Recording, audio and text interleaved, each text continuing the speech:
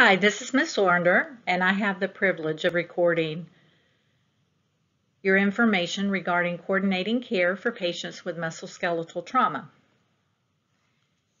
In my nursing history, during my acute care part of my career, I worked on an orthopedic unit in several hospitals, and this is a real passion of mine. And I always like to think of orthopedic patients as not really sick, but more broken. And we as nurses work with a big team to try to put those patients back together and heal them.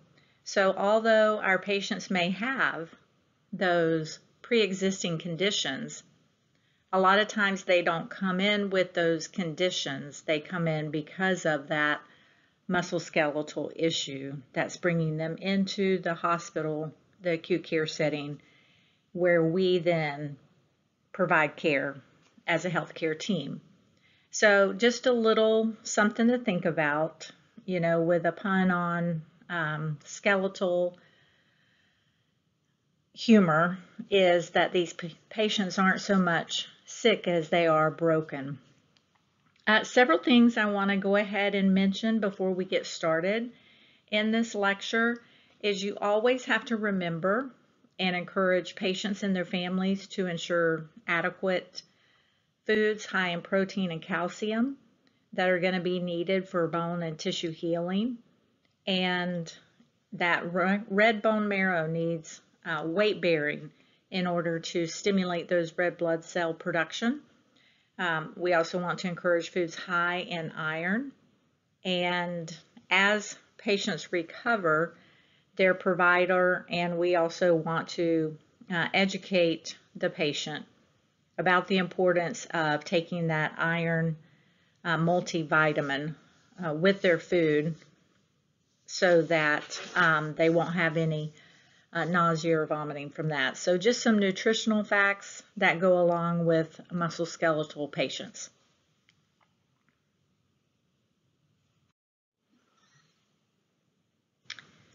The learning objectives that we're going to cover throughout this recorded lecture are going to be, number one, compare and contrast common types of fractures, as well as complications of fractures.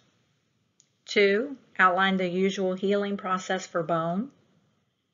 Three, identify typical clinical manifestations that are seen in patients or clients with fractures. Next, we're going to outline common nursing diagnoses for a patient with a fracture. Number five, discuss the nursing care of a patient with a fracture. Six, discuss the nursing care of a patient in traction. Seven, discuss the nursing management of a patient with a fracture. Eight, outline postoperative care for a patient who has undergone surgical procedures to repair a fracture. Nine, discuss patient education required for various fracture injury treatments.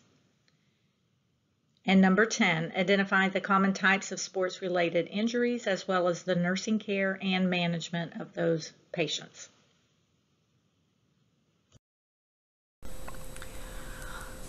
On this slide, I have listed the different types of fractures and we're going to discuss some additional uh, terminology that you might see related to fractures, especially when you're reviewing the x-ray results of your patient's uh, chart.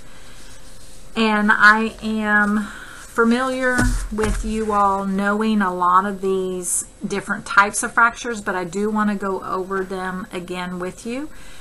Uh, just a reminder that fractures can result from a direct blow or crushing force, a sudden twisting motion, or even a severe muscle contraction, especially if a patient has a disease process that already weakens the bone, uh, which would be a pathological fracture. And a type of force that is needed can either be direct or indirect that would cause a fracture. So the first type of fracture that I have listed here on the slide is the avulsion fracture. And that is just a fracture where fragments are being pulled away by tendons and ligaments at the point of attachment. And this is the number one sports injury or fracture of the ankle. Uh, so it's very commonly seen. Comminuted fracture is where the bone splinters into multiple pieces. A compound fracture or open fracture, the skin integrity is compromised. And anytime that there's a compromise of the skin, you also want to provide um, a tetanus vaccine for them. So before we would give a patient any type of vaccine or medication, we would also always find out allergies prior to giving um, that medication or vaccine. A compression fracture, perfect example of this would be the vertebrae of someone maybe who has osteoporosis. So uh, this is just where the bone is crushed.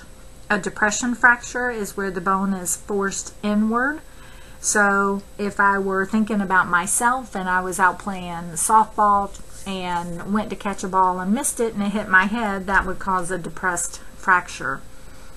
Epiphyseal, that is just where on the bone the fracture is. So this area is at the ends of the bone and it involves the growth plate. Green stick fracture is an incomplete fracture when the cortex of the bone bends on one side and it buckles on another. So the cortex is that thick outer portion of the bone, very commonly seen in children. I'm sure that some of you all have uh, seen this in patients that you've taken care of. An impacted bone is a broken bone where the ends of that bone are forced together. An oblique fracture is a fracture line that is at a 45 degree angle. So there's where we use our geometry in nursing, not only when we're talking about fractures, but obviously how we're positioning the patient's bed is um, the use of geometry um, pathologic fracture is spontaneous and it's caused due to a weakened bone, uh, usually due to a disease process. A simple fracture is a closed fracture. With that, sometimes people feel that an open or compound fracture is worse than a simple or closed because of what is seen through assessment. However, you must remember that with a simple or closed, they could be having blood loss and we just cannot see it, so we have to monitor for vitals to determine changes in those vital signs and we're, we're looking for shock, hypovolemic shock for that patient. A spiral fracture is just where twisting force um, causes the fracture to coil around the bone. Some other terminology I want you to be familiar with is a complete fracture. That's where the bone, its entire width of the bone has the fracture across it. An incomplete fracture would then include not the entire width of the bone being included in the fracture. We talked about the epiphyseal fracture. Diaphyseal is just a fracture that happens with the shaft of the bone. If a fracture is considered stable, that main, means that bones maintain that anatomical alignment, whereas an unstable fracture means that the bones move out of the correct anatomical alignment. If a fracture is addressed as transverse. That means the fracture crosses the shaft of the bone at approximately a 90 degree angle. So transverse versus oblique fracture is just talking about the angle of the fracture. Um, a transverse fracture is very common with Patazy's. It's usually stable after reduction. Um, some other terms that you might hear are extracapsullary and intracapsullary. That just means that the fracture is located inside or outside the joint capsule itself. And fatigue or stress fracture is another example of a type of fracture that you might actually see listed. On page 1178 in your textbook, it does show you some pictures of different types of fractures.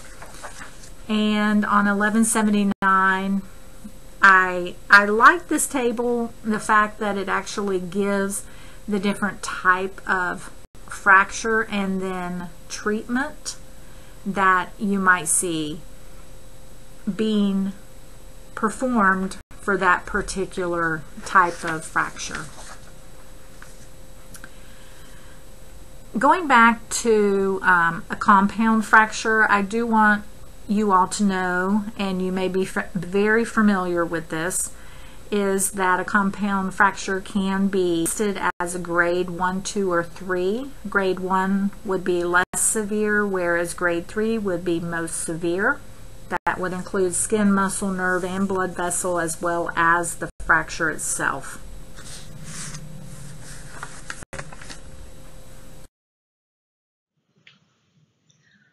On this slide, I've pulled several images that I found offline of different types of fractures, and we're going to go through them in the classroom.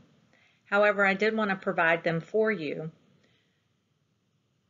What's important from a nurse's standpoint is not that you're going to be looking at the x-ray in the chart and determining the type of fracture the patient has, but when you read those radiology reports and they talk about all the terminology that we discussed in the previous slide, you're going to be able to imagine, okay, if it is a transverse fracture, then you have that image of what that bone looks like. So we'll review these in class. On this slide, I wanted to show some of the complications that can occur related to fractures or musculoskeletal trauma.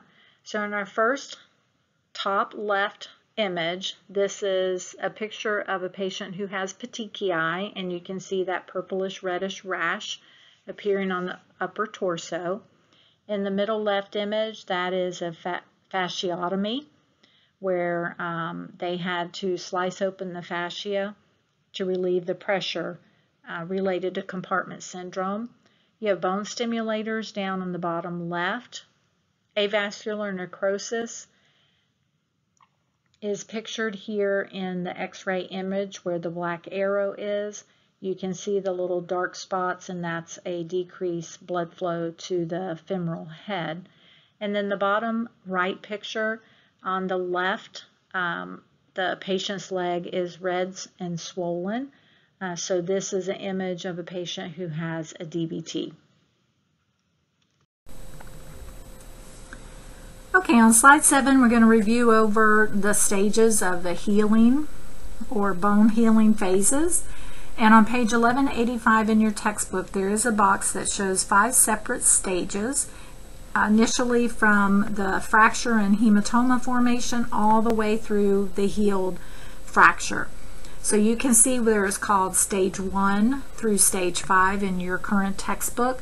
I have listed them slightly different because I want you to know what goes on during those stages. So um, stage one is anywhere from four, 24 to 72 hours after the injury and that is where the hematoma is formed around the fracture site and um, so that's why I've tagged it bone injury.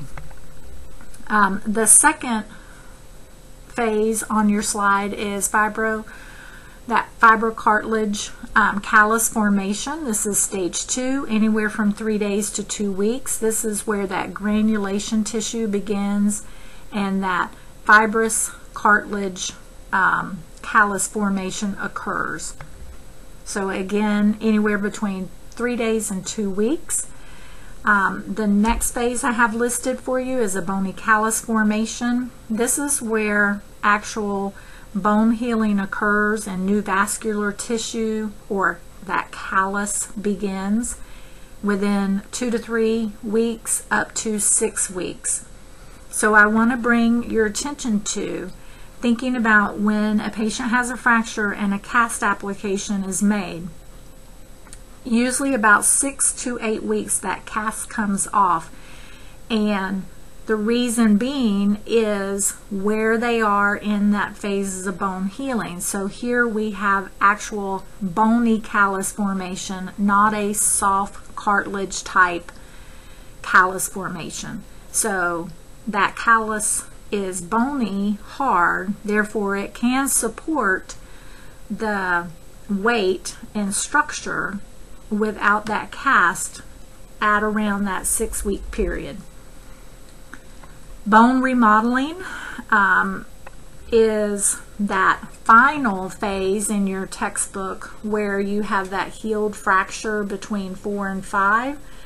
But um, stage four we'll go back to is where the callus is gradually reabsorbed and transformed into the bone shape that was present before that takes anywhere up through eight weeks. So three weeks to eight weeks to get this callus formation that's being worked on and transforming that bone back to that final process.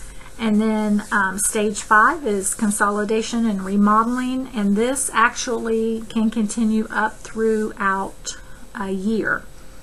So when we talk about how long does it take healing to take place, in young healthy adults it can be anywhere from four to six weeks, hence six to eight weeks with a cast.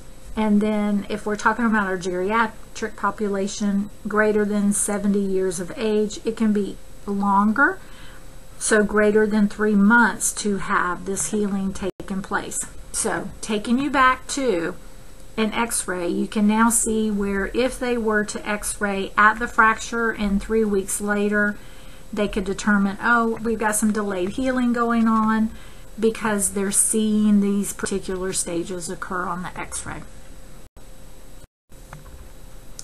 This is a nice little image of the actual stages as things progress for bone healing.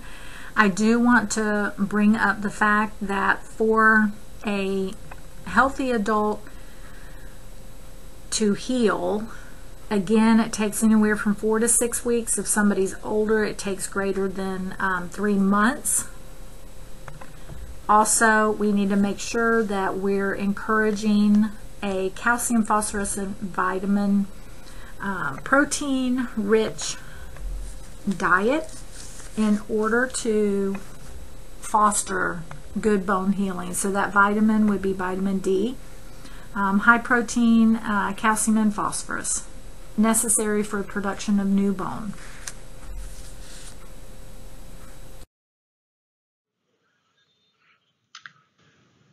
Listed on this slide are the manifestations or signs and symptoms of a fracture. We'll begin with deformity. Deformity is the abnormal position of a bone secondary to a fracture or it can also be related to the muscles pulling on the fractured bone.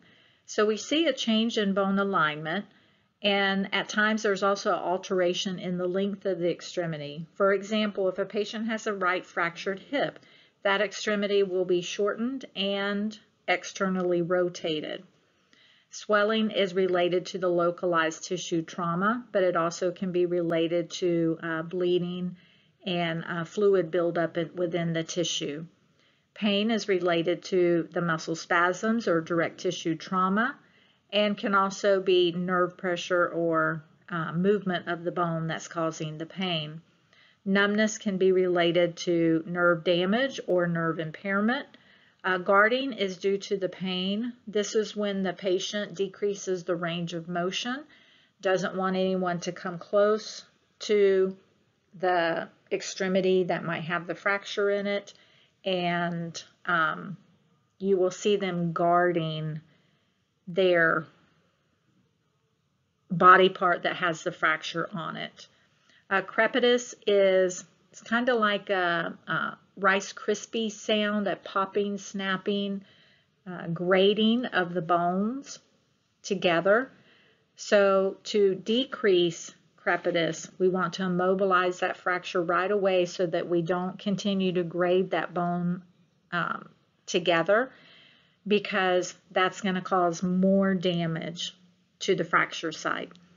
Uh, muscle spasms, that's where the muscle contracts near the fracture, causing pain, and ecchymosis or bruising can occur related to blood moving into the subcutaneous tissue. Um, for instance, one time I had a patient that had a fractured hip and um, throughout the care of that patient, I was able to assess that they had bruising from all the way under their axillary region on the side where they had the fracture all the way below the knee. And that was because of bleeding that had gone into the subcutaneous um, tissue. We always want to assess our patient for hypovolemic shock due to blood loss or associated injuries. Remember that we're going to see a decreased blood pressure and increased pulse, um, particularly with patients who have fractures such as a pelvic fracture. Um, those areas are very vascular and bleeding can be hidden because we have that abdominal cavity can, that can hold up to about six liters of fluid. So we always want to assess our patients for hypovolemic shock.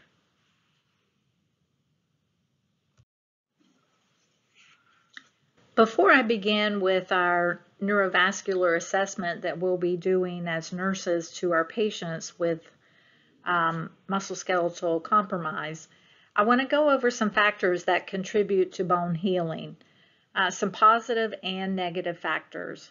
Uh, positive factors would be um, that the fracture is immobilized very quickly. This is absolutely a key to the management of a fracture is that that fracture is immobilized. Uh, timely correction of a fracture. Um, ice can be placed on the fracture area to reduce swelling and also improve comfort. If the patient has had a history of a good intake of vitamin D and calcium, the patient doesn't have any uh, blood supply issues such as uh, diseases that could cause blood supply issues, diabetes, peripheral vascular disease. Um, there's no infection at the site of the fracture. The patient is younger in age. That is a positive factor, as well as that they've had moderate um, activity level or that they're very active. Those are positive. Uh, some negative factors, on the other hand, are that there was a delay in the correction of the fracture, that there was an open fracture or foreign body, the patient's immune compromised, there's decreased circulation to the area where the fracture is. Uh, patients have uh, malnutrition, osteoporosis, or they are older in age. So now let's move on to our neurovascular assessment that we're going to include not only in our initial nursing assessment, but our ongoing focused assessments on our patients. So I've tagged this as remember your P's, pain, pressure, pallor, pulses, paralysis, paresis, paresthesia, and puffiness. They keep adding P's to the list. I can remember when there were five P's. Now I believe I've got seven on this slide. So we're going to initially assess our patient for uh, pain and we are assessing the location, the level, the nature of the pain, um, and uh, frequency. The pressure the patient is going to feel is due to the swelling in the tissue in that compartment. And due to that swelling, that pressure is that patient is going to feel an increased pressure where that injury is. Pallor is the skin color we want to um, assess. Pulses, we want to palpate distal to the injury as well as evaluate both sides. If the injury is on the right side, we want to palpate the left extremity as well as the right extremity. So distal and proximal to the injury site. Paralysis, we want to assess for the movement or the ability for movement. Paresis is the sensation, where paresthesia is numbness and tingling that the patient may state that they feel. Puffiness is a fancy P for swelling. Um, remember that um, our initial assessment is going to be performed and ongoing focused assessments will occur. Um, when I worked on the orthopedic unit, we did our initial assessment and then our ongoing assessments were every hour times 24 hours, then 20, every four hours thereafter. This is where you would follow the um, guidelines of your facility at how often they required assessments to be done, and then we always use our nursing judgment to make more frequent focused assessments when necessary.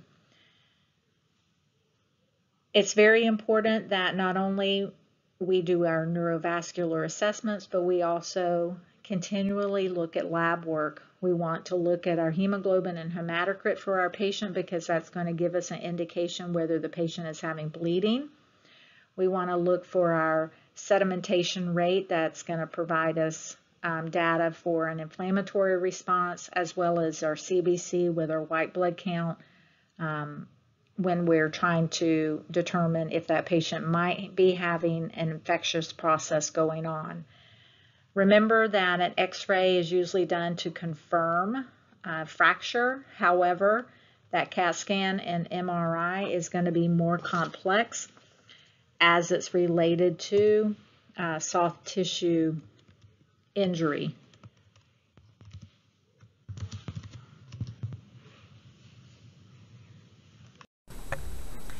On this slide, I've listed for you several nursing diagnoses that would apply to a patient who has musculoskeletal fracture or trauma. Number one, obviously, would be acute pain that we would be um, assessing for impaired mobility, risk for neurovascular compromise. You'll notice that I've colored this differently because even though it is a risk, um, this is the reason why we do the neuro checks on our patient every hour, every four hours, or once a shift, depending upon how long a time since the fracture um, or injury. So this is extremely important to monitor for. Uh, risk for infection is also uh, one of the nursing diagnoses. So going back up to acute pain, um, our outcome for that would be that the patient would state he has adequate pain control, less than a 3 out of 10. And how would we accomplish that goal would be to maybe place ice, elevate, medicate with um, medications that are prescribed, as well as also putting on Buck's traction, which is a form of skin traction, if it is ordered. So making sure that that is uh, correctly on the patient and being used. So let's go back to how you'd write this full nursing diagnosis. It would be pain acute related to musculoskeletal injury as evidenced by, and you could place there what the patient stated the pain level was. Um, did you see him grimacing, guarding? Anything that you can collect with your subjective and objective data would go as your as manifested by. Your pathophys of the problem is always your related to. Um, impaired mobility. This is a great nursing diagnosis where you're going to pull in um, the whole healthcare team, which would include physical therapy and your physical therapy assistant. So your outcome here maybe would be free of consequences of impaired mobility or ambulating with or without assist device a certain distance by a certain date. So let's just say that the patient ambulates with the crutches 30 feet by date of discharge. That could be a goal.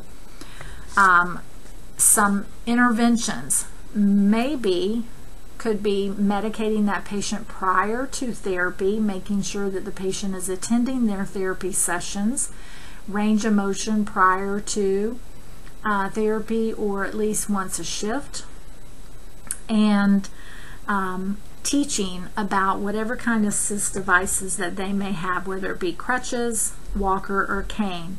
Again, a quick recap on crutches needs to be two fingertips from the top of the axillary region so that the nerve isn't compressed. There needs to be a nice flex in the elbow, about 30 degrees, and make sure that the crutches are measured for the patient's height. Um, check the tips of the crutches to make sure that they um, do not have any wear or will um, slide or cause a risk for uh, falls for that patient. Uh, risk for neurovascular compromise. Um, this is a big one. So in order for us to say that the patient has adequate blood flow supply to maintain perfusion and function, which could be our goal, we would know that would occur by doing our neurovascular checks um, frequently.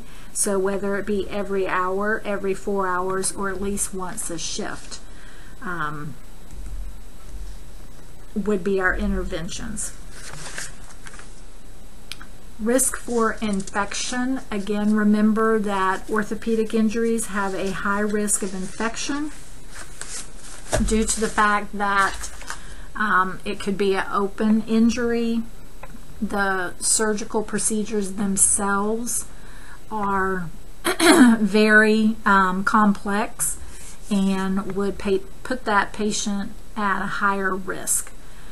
Um, please remember that if you're doing any kind of dressing changes that you need to have um, aseptic technique when doing those dressing changes. I would never want you to contaminate or bring additional um, bacteria into that wound. I'm even really, really funny. You can go in and get a clean pair of gloves. You don't know who's touched that set of gloves before you came into the room and grabbed a set of gloves without washing their hands. You want to monitor vitals every four to six hours. So that's gonna, you're gonna look at that temperature so that you can see that that patient is not running a temperature. So therefore we can assume that they're free of infection at that time as well as looking at their lab work for their uh, white count. Another intervention would be whatever antibiotic is prescribed that it is hung at the appropriate time so that a therapeutic level of that antibiotic can be continuously maintained and decrease that potential risk for infection.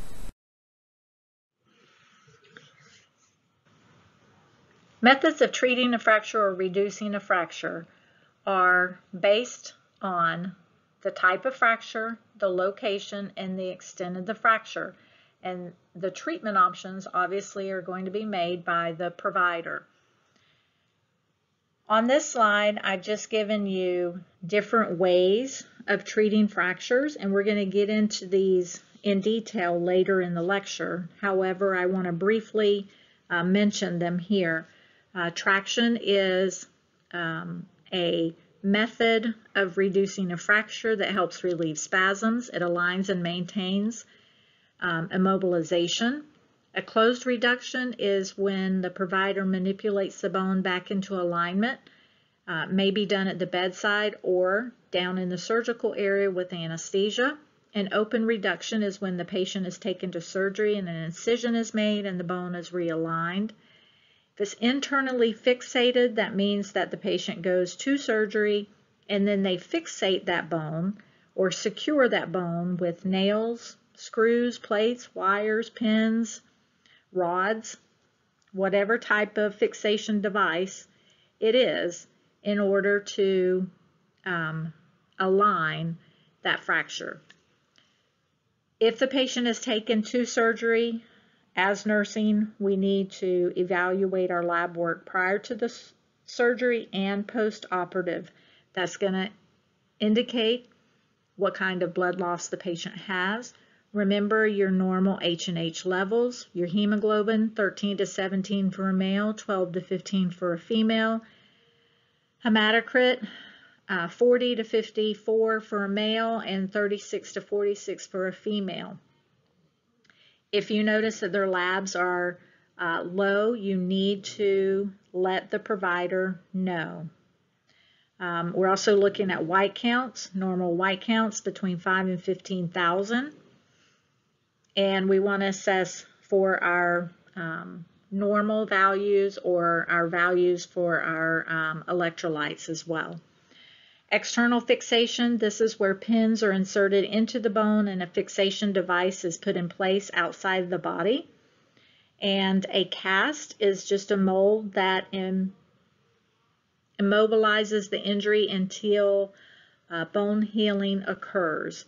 I did not place on this slide a bone stimulator. Uh, this is when a electrical current at the fracture site is in place. And usually they use this when the fracture is not healing in the appropriate amount of time that they want it to. And the bone stimulator increases the migration of osteoblasts to the area so that bone healing occurs more rapid. This can be done internally or externally. If it is internally, the bone stimulator can be active 24 hours a day. If the bone stimulator is placed externally, then it's usually activated for several hours a day.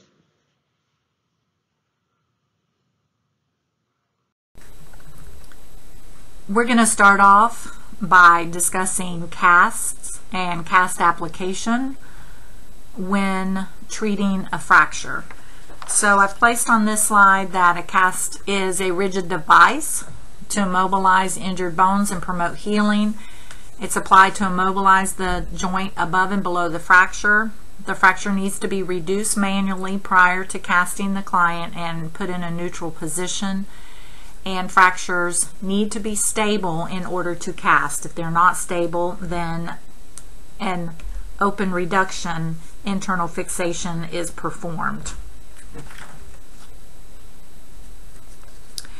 It is imperative that the joint above and below the injury is immobilized so the bone is not moved during the healing process. Therefore, it would cause some impairment in that whole phases of healing and then you would get a um, malunion.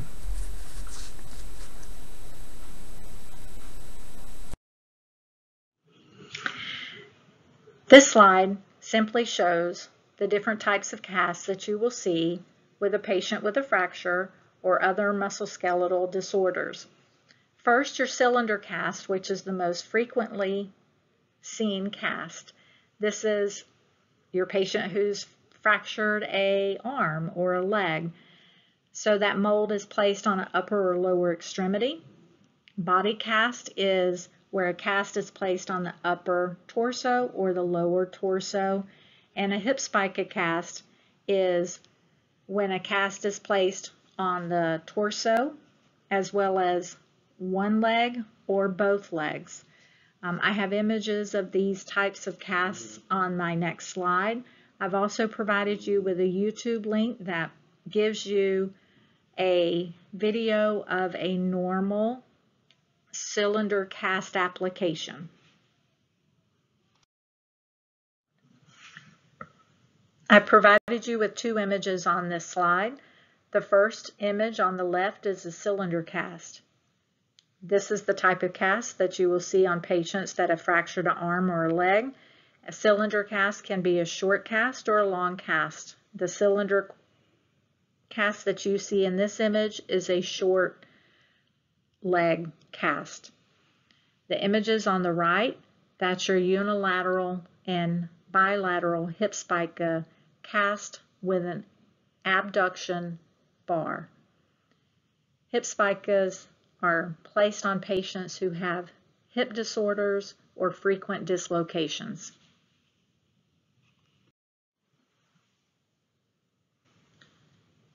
As far as nursing observations and care for a patient with a cast, before the application, you want to make sure that you do your neuro assessments prior to the application, and that includes a very good skin assessment.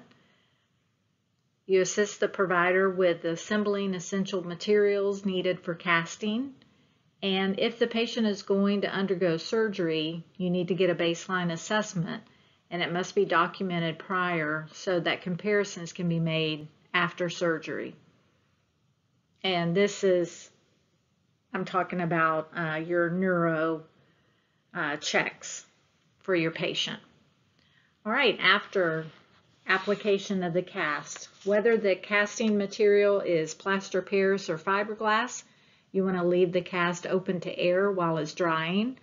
A um, fiberglass cast usually takes about one hour to dry, whereas the plaster Paris can take up to 48 hours. You can elevate the extremity on a pillow uh, times 48 hours and do not cover it while the plaster of Paris is drying. Um, while the fiberglass is drying, you also want to leave that cast material open to air.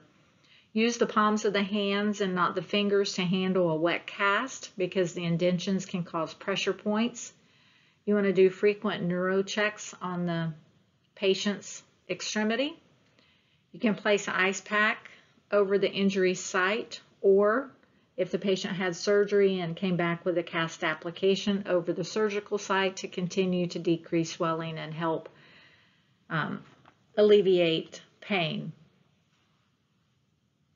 Be sure to instruct the patient that they will feel a sensation of warmth when the fiberglass cast is drying and that's due to a chemical reaction and that's normal and will be felt by the patient.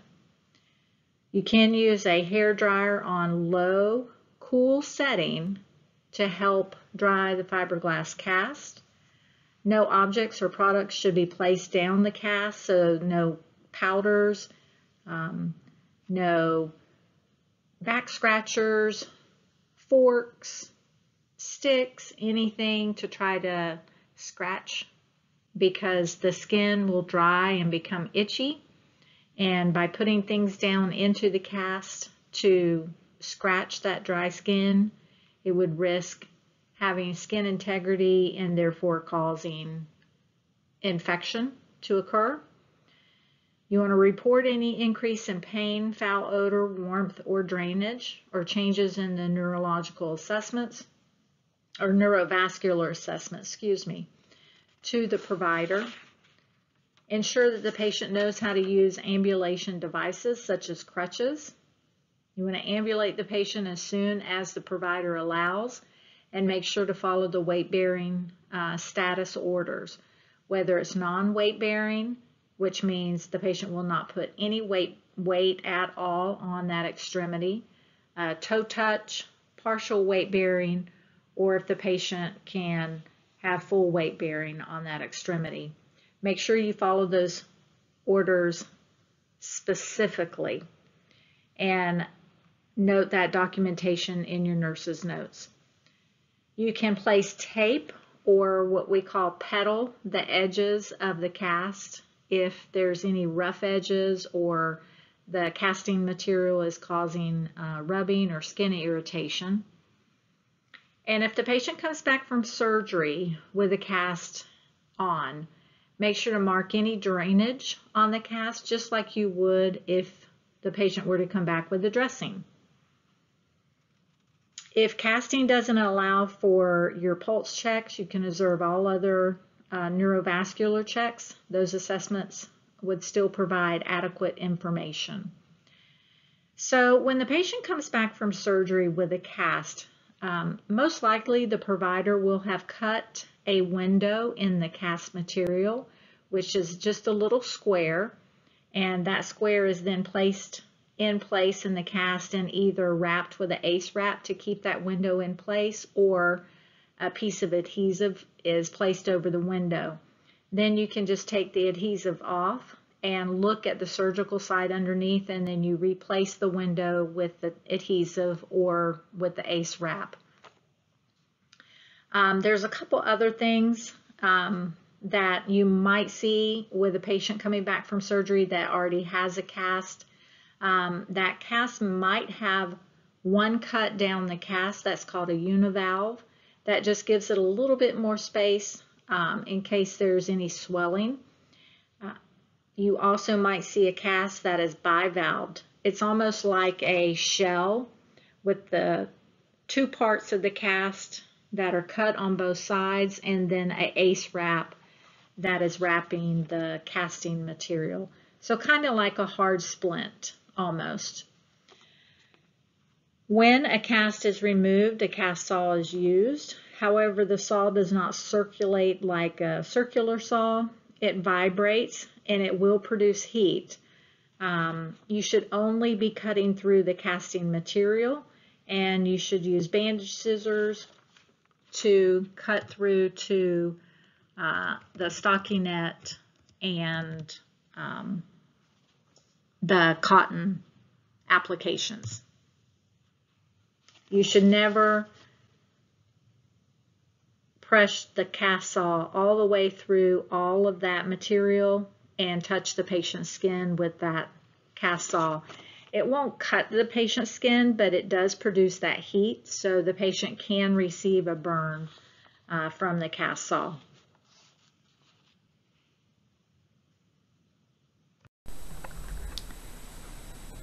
This slide just shows the two different types of casting material that is available. The top picture is plaster of Paris and the bottom is fiberglass. So going back to Florence Nightingale and the Crimean War, she would have seen plaster Paris being used, came out in the 1800s, where fiberglass is more recent, back in the 70s. Fiberglass is used more often because it is lighter weight and it dries much more quicker. But the provider will determine which type of cast they want applied based on the fracture, the patient, and um, other circumstances. So the basic concept of a cast is prior to application, uh, the patient's extremity is placed in a neutral position so then they won't have any difficulty with range of motion afterwards, such as foot drop, and stockinette and a cotton cushion wrap is applied. Then the casting material is applied from distal to proximal, molding to the normal contour of the extremity. The cast has to be dry before pressure is applied. When you're dealing with fiberglass, it's about one hour, where plaster of Paris can take up to 48 hours. Again, the type of cast is determined by location of the fracture and the patient's um, health. Mobility is also taken into account. So um, let's go over a couple things regarding um, casting. Um, so once an application is started, the patient needs to be aware that there's going to be a chemical uh, reaction. So they are going to feel with fiberglass when it is activated, they're going to feel warmth or heat in that material and that is normal. If they're using plaster of Paris, well, and fiberglass, the cast needs to be open to air. You want to elevate the extremity usually on a pillow, um, but keep the cast material open to air until dry. Um, if the cast gets wet or you want to kind of help with the drying process, you can use a hair dryer on low warm um, to help with that. Otherwise, nothing goes in the cast. No talcum powder, no back scratchers, no coat hangers, no, nothing goes into the cast. um, because they can impair their skin and then infection can start and that infection can progress without being noticed. Let's talk about uh, windows and bivalving a cast. So a patient who has surgery actually can come back with a cast and where the surgery surgery took place they will cut a window out of the casting material and you'll see either a ace wrap or a piece of adhesive over the window that way you can open up the window and um, observe the surgical site um, when a patient has surgery just like you would monitor for drainage and and what the surgical site looks like you need to do that with this cast. The drainage then will, you want to mark the cast just like you would a dressing and alert the healthcare provider if any increase in the amount of drainage or um, changes to your assessment of the actual um, surgical site. Now let's talk about if a cast is too tight um, that goes back to compartment syndrome. We don't want that to happen. So if the patient starts complaining of increased pressure, because they are going to have uh, swelling, that cast can be either univalved or bivalved. That's with a um, cast saw. And if you have not seen or used a cast saw before, this is not like a circular saw out in your workshop.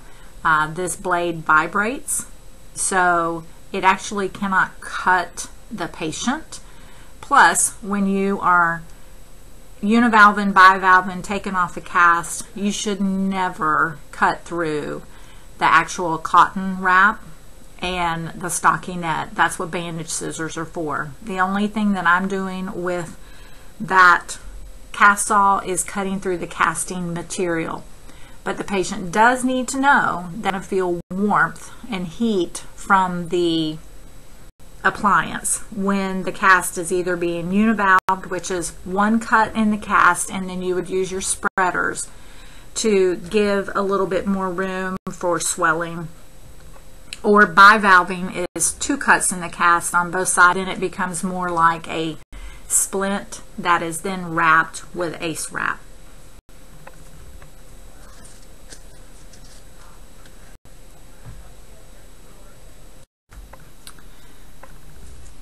Next, traction is another way that a fraction can, uh, fracture can be reduced. Uh, traction is the application of a straightening or pulling force to return or maintain the fracture in normal anatomical position. And I've listed here for you two different types of traction. It's skin traction, so the device actually wraps around the skin, and then the pulling force is placed on that um, appliance and traction is applied. Skin or skeletal, on the other hand, there are pins that go into the bone and then that traction or that pulling force is then placed on that skeletal traction so that um, alignment can be maintained. So the difference is, is skin, there's no break in the skin integrity. and skeletal, uh, pins are placed down into the bone. So, skin traction applies a pulling force um, through the client's skin and it's non-invasive and it's relatively comfortable for the patient. As I alluded to earlier, uh, simple skin traction is a Buck's traction. It's an egg crate booty that is placed on the patient and a usually a five pound weight of traction is applied and this actually applies that pulling force and it decreases the muscle spasms and relieves their pain until they have surgery for a broken hip. Uh, skeletal traction, that's a pulling force that is applied directly through pins inserted into the bone and allows the use of the weight to maintain uh, bone alignment. There is that risk of infection and may cause more discomfort than actual skin traction.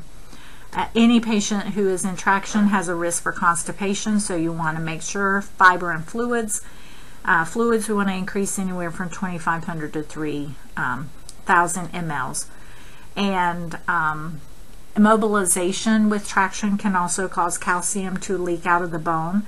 So you need to assess for um, the osteoporosis that can occur that is specific to that area and watch your electrolyte levels.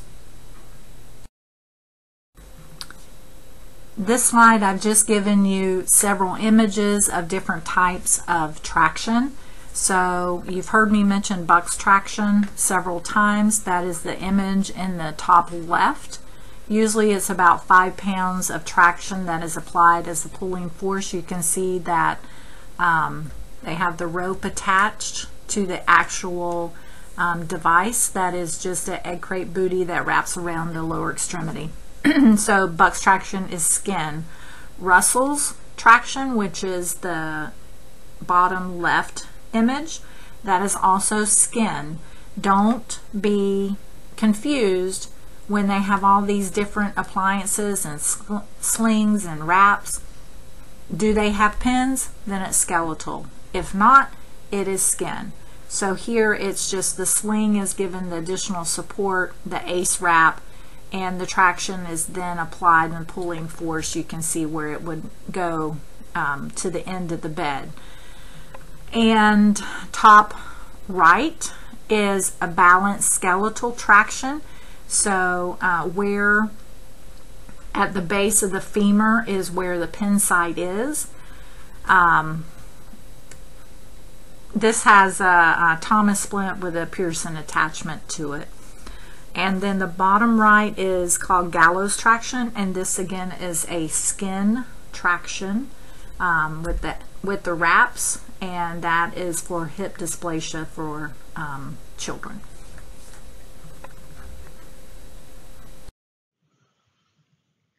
This is an image of a typical patient in skeletal traction. And what I want to do with you on this image is take you through the different parts of the traction and the setup of traction.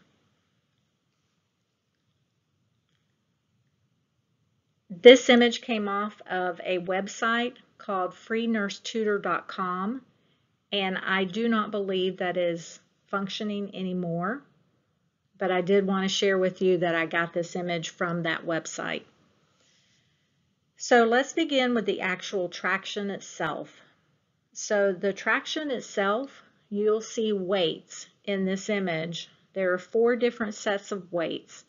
That is the actual traction. So if somebody states your patient has five pounds of traction, it's the weight or the sandbag that's attached to the actual um, rope that is supplying that pulling force.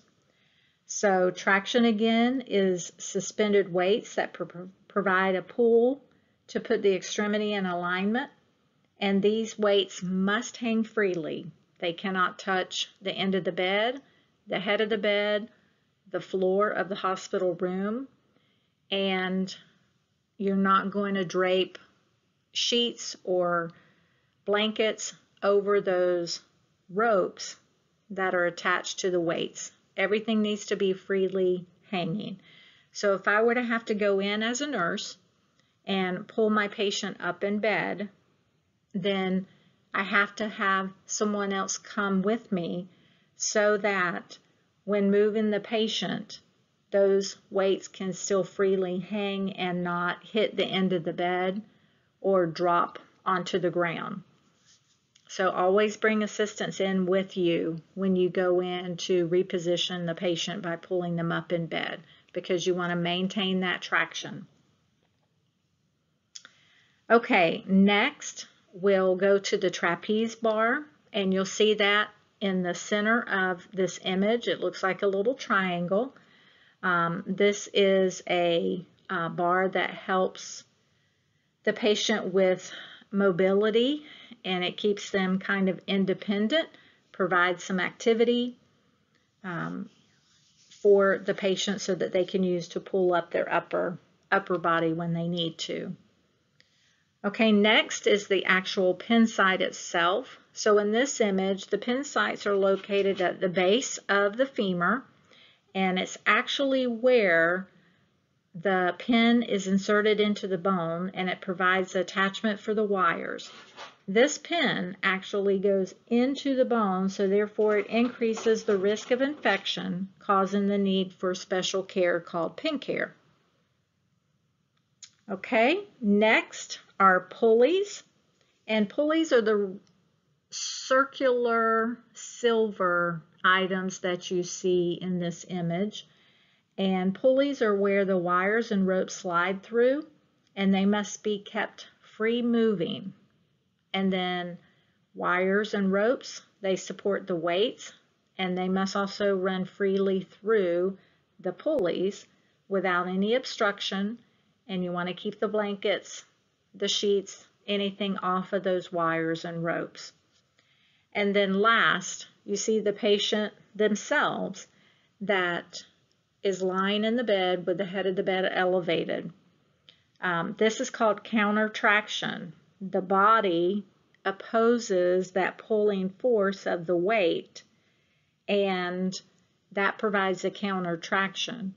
What's very important with a patient in traction is that anytime you provide care for the patient, when you're positioning the patient or moving them up in bed, you always need to go to the foot of the bed and make sure that that patient is in alignment in the center of the bed.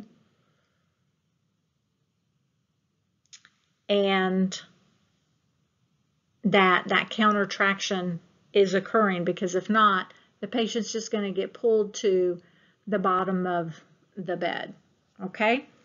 Um, another thing about traction is Instead of making the bed from one side to the other as we normally provide uh, bed change, linen change for a patient, someone who is in traction, we actually would make the bed from head to toe. Um, and then the patient can use the trapeze bar to assist in that linen change. Nursing interventions related to traction again, um, you want to maintain that pulling force with the traction. So traction would never, skeletal traction would never be removed. So I'd never take the weights off to do something with the patient and then put weights back on. That totally um, defeats the whole purpose of skeletal traction. That being said, the provider is the only one that's going to do anything with um, removing weights and making changes there. Our role is to make sure that that skeletal traction is in place and effective. We're going to do neuro checks, so that's going to be to the skin and to the pin site insertion. So um, with a patient with traction, we want to make sure that they stay in the center of the bed, maintain body alignment with the direction of the pull. Nothing is lying on or obstructing the ropes that the knots are taped and the knots should not come in contact with the pulleys. Uh, weights hang freely and don't touch the floor. When we're looking at skin, we want to check pulses, color, sensation, movement distal to the wrapping. Uh, only remove weights intermittently if, if, if it has been ordered and to rewrap in resecure bandages. Frequently assess the skin, bony prominences, and pressure points for irritation and breakdown. And we want to protect the pressure sites with protective dressings. Again, uh, pin care is ordered. You want to follow the policy and procedure of the facility uh, where you are. We want to report any signs and symptoms of infection and report any complications of immobility. Um, I've already talked about making the bed from head to toe because they can use the trapeze to lift themselves up and help move um, when you're replacing the linens underneath uh, the patient. As far as pin care goes, you want to assess the site for redness, swelling, drainage. You want to look at the pins. Are they straight? Are they bending? Um, you want to teach the patient not to touch the pins because it's normal to have the dry uh, serous drainage, so that yellow uh, crusty drainage all around the pin sites. That's normal. They have a tendency to want to pick at that. Um, teach them not to touch the pins. Always, um, when you're doing pin care, you want to start at the pin site and go outward. Never draw back into the pin site because we don't want to bring back bacteria into um, the site of the pin because that pin is going directly into the bone and we would not want to lead to osteomyelitis. Um, if the order calls for ointment, then uh, a triple antibiotic ointment could be used, but normally it is just to clean the site. Um, if it is a saline hydrogen peroxide mixture, make sure that you follow up with the um, saline because that hydrogen peroxide can be irritating to the skin if left in place. Now, uh, this is a soapbox. Uh, some facilities, or I even think some of the textbooks say that you can clean the site at it's a clean technique. However, I always perform it as a sterile technique because again, I don't know whose hands have been in the gloves when they walk in the door. And um, I also use that sterile Q-tip and start from the pin site and rotate out, never bringing back my Q-tip um, to the actual pin again after I've rotated out. One applicator per pin because then I can document uh, what I've done and I am secure that I have not um, increase that risk for osteomyelitis. Okay, in your Hoffman textbook on pages um, 1183 and 84, it gives a good review on assessment, vitals, labs, actions, and teaching. So I do want you to review those. Um, I believe I've already stressed the importance of assessments in all your P's.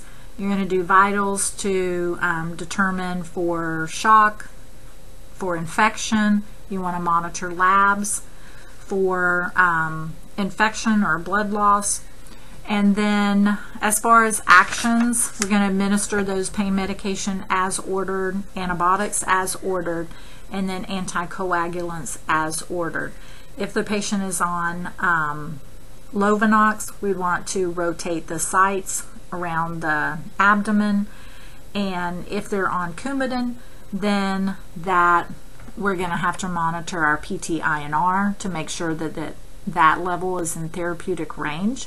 And then that patient is also have to be taught on um, vitamin K um, rich foods because that is going to impair the um, action of Coumadin. So foods that are um, nice and healthy for you like leafy green vegetables you have to limit usually a half a cup um, is the size of serving that you would want the patient to take in of those leafy green uh, vegetables. Also, uh, when they're on Coumadin, you want to um, encourage them not to uh, take in uh, large amounts of alcohol, especially when you're looking at alcohol. Um, harder liquors have a tendency to affect the PT-INR numbers more so than like beer. But you don't want them to uh, go out and binge anything as far as drinking goes because that'll affect their PT-INR. Antibiotics will also um, adjust their PT-INR so you will have to make adjustments to the anticoagulant dosage based on the fact that they have other meds that they need to take. Ice can always be applied um, to a cast and um, that's going to help decrease uh, swelling and pain.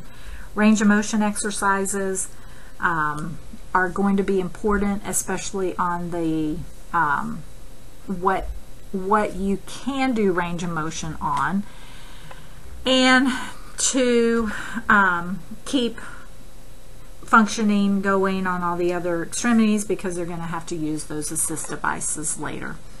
Uh, pulmonary hygiene, your book does talk about. It's important for incentive spirometry, uh, coughing and deep breathing every hour. The IS is um, 10 times an hour while awake. Um, I love it when I go into a room and the incentive spirometer is there and I ask a patient um, to show me um, how to use it and they say they don't know that somebody just came in and put it down and told them they needed to use it. So it's very important that we teach our patient the proper way to use an incentive spirometer and always say, you know, it's like uh, you're sucking on a straw or if they're a smoker, it's like they're smoking a cigarette. You take a nice, slow, deep breath in and it's not about getting that um, ball or level all the way to the top. It's maintaining in between the ranges that have been uh, the window that's been set. And you may have a range of only 500 for an incentive spirometer, but that they're taking that nice, slow, deep breath in so that they don't get atelectasis, which leads to pneumonia. Um, nutrition we've talked about. Your book talks about again the importance of protein, calcium, vitamin D, and uh, for repair. And we want to increase our fluid intake because of um, renal calculi that might occur. We discussed that when we were talking about rhabdomyolysis. Um, I think that's all I want to talk about on this slide, but make sure you go to your textbook and review this information. I have listed for you common postoperative care for orthopedic client. I'm going to start with vital signs. Those are your standard um, post-op vitals every 15 minutes times one hour, every 30 minutes times two, hourly, and then every four hours and progress from there. Um, neuro checks we've already um, discussed could be every hour and then every four hours. We want to assess for incisional bleeding and marking that drainage look at the wound. What does the drainage look like? It is serous, serous sanguinous, sanguinous drainage. Um, reposition every two hours is going to be important. Incentive spirometer every hour while awake, 10 times. We're going to cough and deep breathe. We want to provide comfort by medicating the patient with um, analgesics. As soon as possible, we want to get this patient up out of bed and ambulating. Um, that is going to benefit them in the long run. They're not going to like you at first, but you're doing it in their best interest. Uh, physical therapy will usually be uh, consulted if they have surgery in the morning. They're usually in in the afternoon, getting the patient up for the first time into the chair, and then helping them get back into uh, bed. Depending upon how the patient does postoperatively, then uh, therapy may continue to work with that patient, but then nursing also steps in to do um, mobility with that patient from then on out. But that would be important to assess um, nursing or the doctor's orders first, plus physical therapy um, notes. Um, if the patient surgery was performed later in the day, you'll see them coming in first thing in the morning to get them um, to the chair or begin ambulation. SCDs, sequential compression devices, um, are used in conjunction with TED hose. A continuous passive motion machine. This is a um, machine that is placed in during surgery and uh, recovery. The degree of flexion, this is for somebody who has like a total knee. Some providers may use it. Again, it depends on the provider if they choose to use it or not. So you may or may not see a CPM being used. Um, but normally with a total knee, they'll come back from um, PACU with a CPM. The degree of flexion has been set by the provider, the surgeon. And while this patient is in bed, that CPM, if they are choosing to use it, should be on so that it's continuously flexing that extremity. Um, the whole purpose of a CPM is to decrease the amount of scar tissue so that healing can take place. Um, SCDs, again, have to be on while the patient is in bed and best used if with TED hose and SCDs. Um, diet, we've already talked about, rich in calcium, protein, vitamin D, and we want to have plenty of fiber and fluids. Uh, postoperative teaching, depending upon the type of surgery they have with the orthopedic condition, if it's an ORIF, that just means it's an open reduction internal fixation. So let's say, for an example, I fell and broke my hip. I tripped over a rug and um, I broke my hip. Now, depending upon where the fracture is, they may just need to do an ORIF, put a plate and some screws and wires in, and the repair is done. Now, if it's closer to the neck of the femur, near the head, they may choose to do a partial hip replacement versus a total hip replacement where you would have the ball and the socket replaced. If it's a partial or hemi, it would be just the head portion of the femur is replaced. So again, it depends on what the fracture is and um, the provider gets in and determine what needs to be done. But those are multiple different types of surgery um, as far as a, a reduction internal fixation, all right, or total or partial joint replacement. Um, post-op teaching again, particularly for somebody who has a total hip. The degree of flexion is very important. They should never go beyond 90 degrees because they're at risk for dislocating the um, joint so they're going to have to have elevated toilet seats. Their nice cushy recliner at home needs to be uh, switched out for a higher chair that is firmer.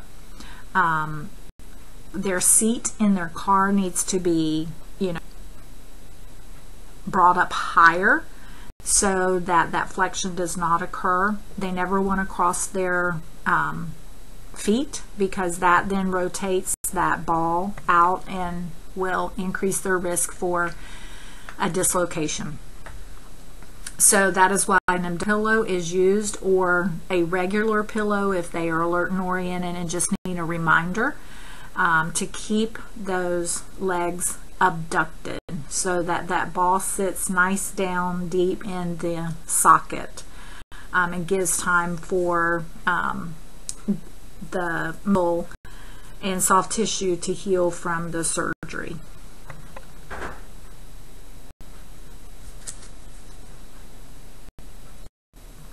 All right, moving away from fractures, we're going to talk about some sports-related injuries moving forward, as well as carpal tunnel. Um, so on this slide, we have some information about a dislocation versus a sprain strain. You need to know the difference between a sprain strain, which you may be from very familiar with. So a dislocation is where uh, the surfaces of the joint are no longer in contact and when a patient um, has a dislocation they may actually feel a pop or a giving away so the structural shape is altered so um, that joint will look different. Um, normally after surgery that joint should not look different. You're going to have swelling but the actual um, appearance of the joint will not change. Um, they will have pain if it like is a dislocated uh, hip that extremity will be shorter than its unaffected extremity and obviously length, range of motion is limited. They're going to determine a dislocation by x-ray. We want to give them analgesics, immobilize, place ice on, do neurochecks and the physician will manipulate uh, to reduce the dislocation.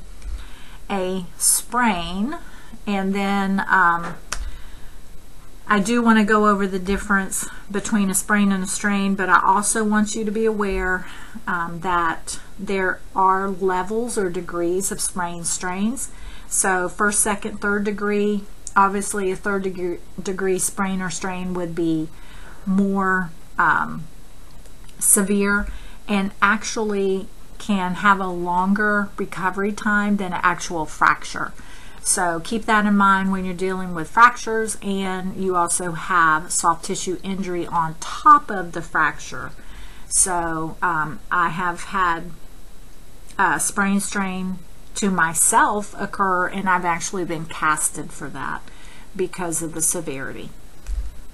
So a sprain is a stretching or tear in one or more ligaments surrounding the joint. Again, loss of function, they're going to feel a pop, discoloration because of the bruising, rapid swelling, pain, and again, grades 1 through 3 or uh, levels first, second, third degree. Um, RICE, so rest, ice, compress, elevate, and you add another E on the end because we're going to evaluate. Um, they determine a sprain strain. They'll do an x-ray initially to see if there's a fracture, but an MRI will be uh, more helpful because that looks at soft tissue injury. NSAIDs are a very important part of the treatment for a sprain strain. And again, upon the severity, it can take up to 12 months to heal. And if it's severe, casting can be done. So if a sprain is a stretching or tearing of ligaments, then a strain actually is um, an injury to the muscle or um, tendon. So you can have those two uh, simultaneously.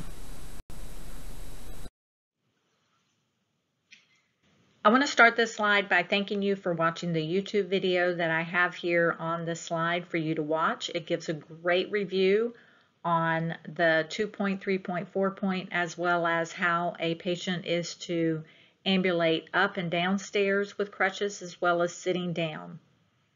So just as a quick overview, remember when you as a nurse are assessing your patient and their ability to use crutches, you know, let's say you're in an office setting working. Uh, you may not have a physical therapist that does this and you as the nurse will be asked to measure crutches and make sure that the patient is educated on the use of those crutches.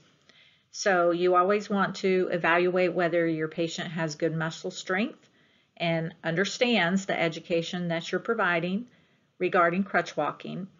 You want to um, assess the rubber tips of the crutches, the placement of the hand grip, as well as the arm pad. That arm pad underneath the axillary region should be approximately one to one and a half inches or about two to three fingertips distance below the axillary region and that is so that the patient doesn't put direct pressure from that arm pad on the, bra the brachial plexus nerve, causing nerve damage. There should be a nice uh, flexion, about uh, 30 degree flexion of the elbow when the patient grasps the hand placement. So again, two point, three point, and four point crutch walking. A two point, the patient is standing, um, let's just go ahead and use the left foot as our first movement. So the patient would move the left foot and then the right crutch. So there's two points on the floor at all times and we're making that move with the left foot, right crutch, and then we're going to move the right foot, left crutch. So that is an easy two-point uh, crutch walking technique. Uh, four-point is basically for support. You would move the left foot forward, then advance the right crutch, then the right foot forward and advance the left crutch. There's always four points on the ground at all time.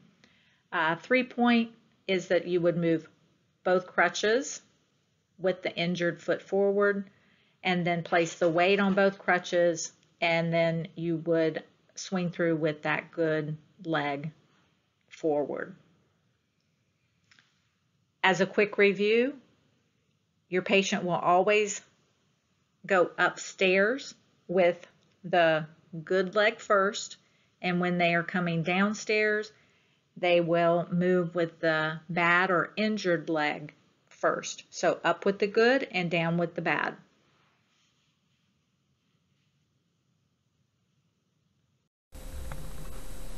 Okay, we're going to cover uh, meniscus injuries. Remember that meniscus injuries, um, the next thing we're going to talk about is an ACL tear. So a meniscus injury can occur alongside an additional ligament tear, but it can also occur alone. So in your um, textbook, it does talk about um, acute injuries occur on average in about 61 out of 100,000 people. Um, I'm a visual person, so I like to include a lot of little pictures in um, my presentations. So your textbook does talk about the C shape and U shape of the medial and lateral meniscus. So I've given you an image here so you can actually visualize that. And then you can also see in this image where this um, ACL or anterior cruciate ligament comes into play. Um, meniscus tears frequently occur, like I said before, with an ACL tear. It can be wear and tear as well. Uh, medical diagnosis is determined using the McMurray and what they are going to do uh, in performing McMurray's is they're going to rotate the lower leg and they're listening for a click.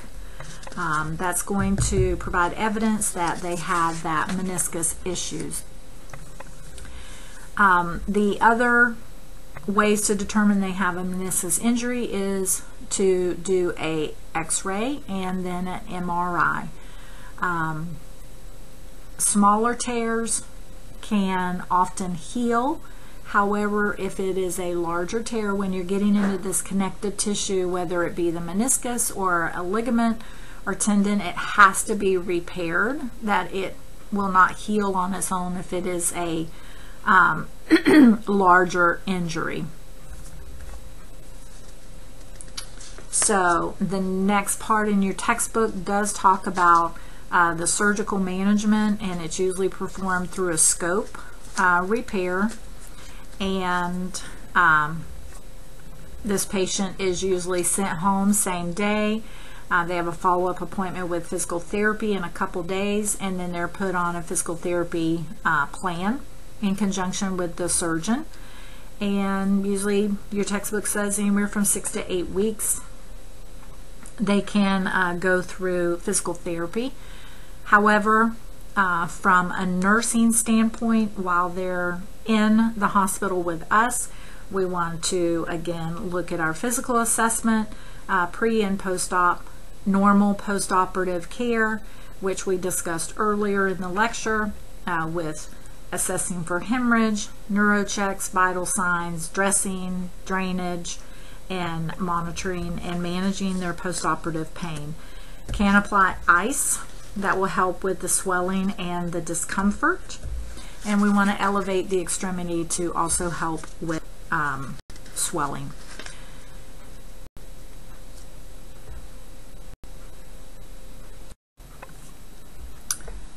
On this slide, we're going to talk about ACL injuries or anterior cruciate ligament. And the whole purpose of the ACL is to stabilize the knee.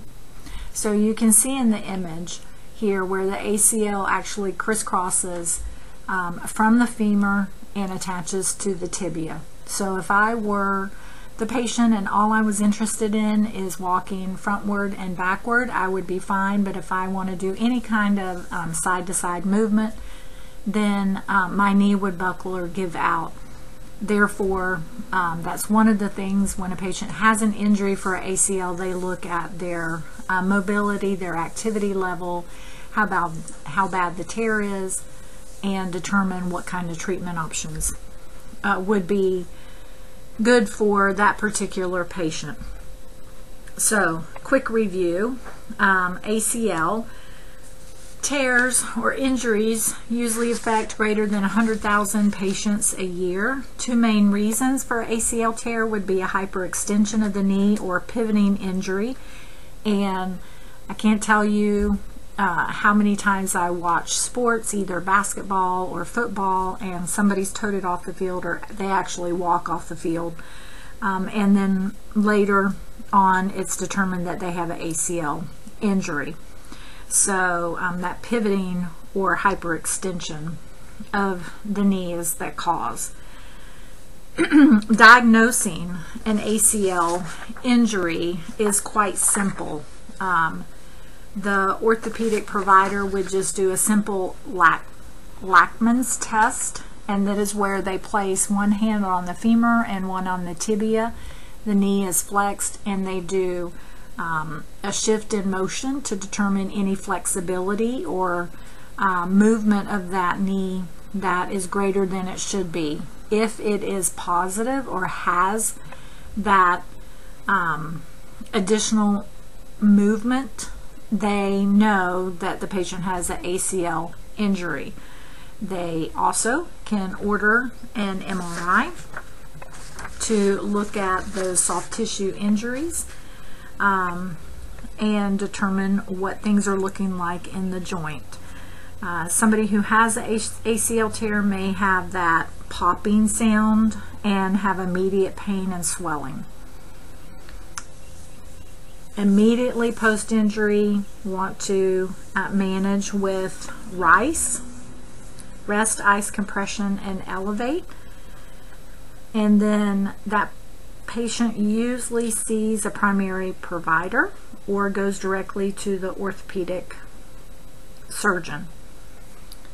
They determine that they have the injury by performing that Lachman's test and then they could potentially follow up with an MRI. However, CAT scan, um, however, X-ray is not going to show any soft tissue, but it may show some other kind of fractures that might have occurred during the time of the injury. So when we're getting down to uh, a decision by the medical provider whether surgery uh, should be performed or not, um, age is one of the factors. Obviously, younger patients usually have surgery, whereas an older patient may not want or need surgery based on their activity level. There's different types of reconstruction. That most of them are done through scope, and they may have a um, graft that is done from the hamstring of the patient, or they may use a cadaver graft.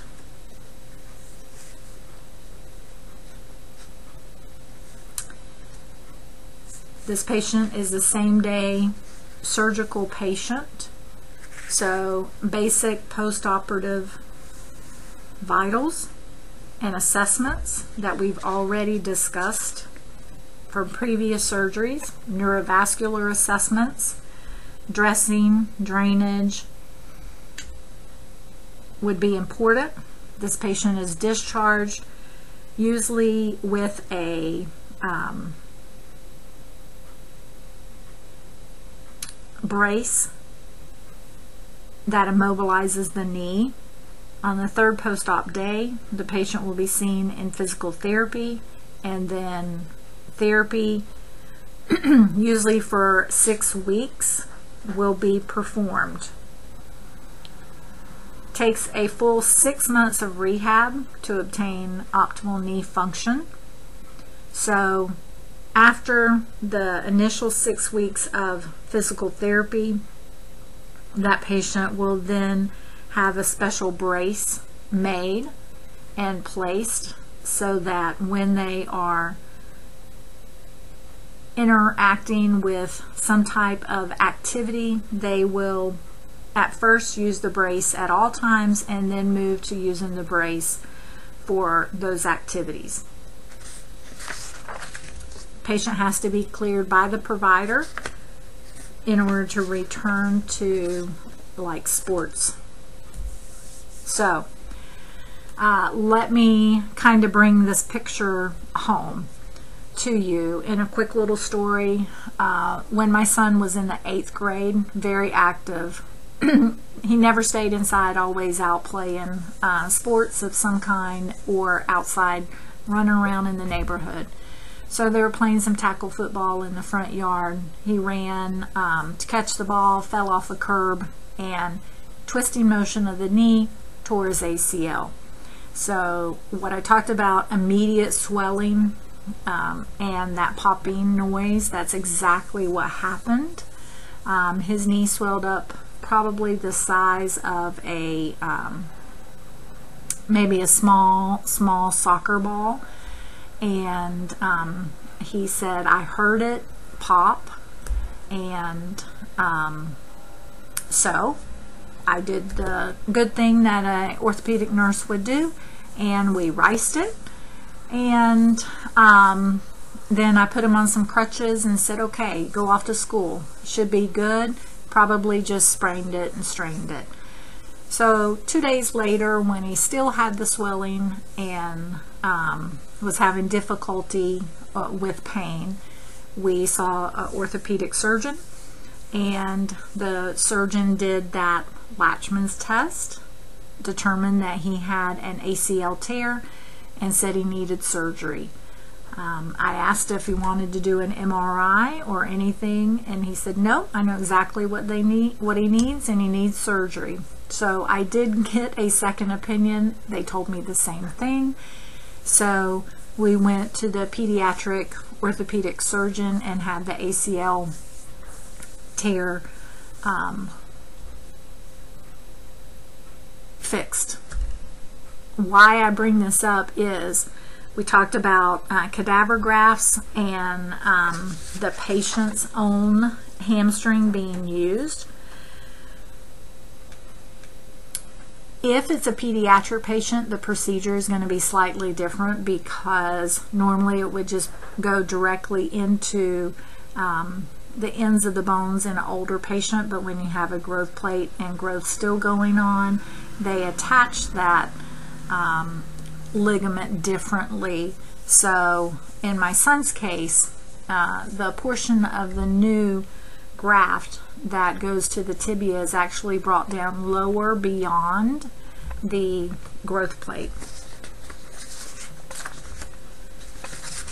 Post-op, again, um, home with an immobilizer with a compression wrap underneath the immobilizer, continuous ice for the first 24 hours, and could be used thereafter for comfort. Appointment was scheduled for physical therapy for day three post-op. in three days, this is what I want to tell you so quickly, um, those muscles can atrophy when they're not being used. There was a distinct size difference from his extremity that had the ACL tear because of the mobiliz mobilization for three days, actually just two and a half because we went early for PT, versus um, the extremity that had the full range of motion and it took him almost a year to build back up that muscle. So, um, physical therapy, crutch use, and um, then braced after six weeks. So for us as the nurse, it's going to be a very short period of care and we would want to follow up with any kind of um, assessment or um, shock, teaching, analgesics, neurochecks, vital signs, all those things post-operatively.